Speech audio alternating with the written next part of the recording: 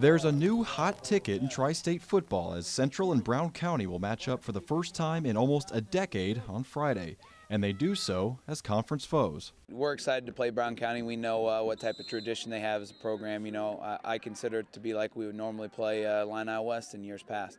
Uh, they run similar offenses. They make you play very disciplined football. They're going to be well coached. They're going to play extremely hard.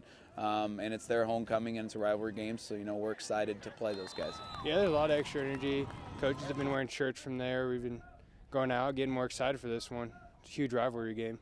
There's really no gray area in this one. You just pick a side, unless you're Alex Ebbing. His high school diploma says Brown County, but he'll be standing on the central sideline as an assistant coach tomorrow night. I've been able to bust out some old Brown County T-shirts this week, um, which uh, the kids really liked. Uh, but other than that, I'm, I'm a Central Panther now, and I uh, bleed black and gold, so I'm looking forward to it.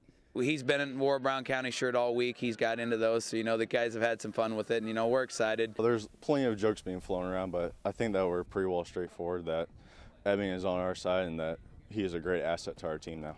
All kidding aside, the Panther defense has done some serious work this year, allowing just one score in three weeks. If all goes according to plan, the D is what will turn the gears tomorrow night as well.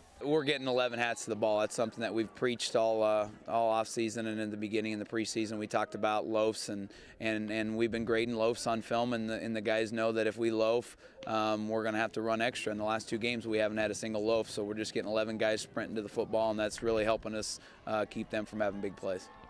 It's a familiar situation for this team to be undefeated, but Central is making sure not to overlook what promises to be a rowdy atmosphere in Mount Sterling on Friday. Being 3 0, it brings a lot of pressure. You know, they're the underdogs. They're going to bring it, have nothing to lose. We got to just bring what we have.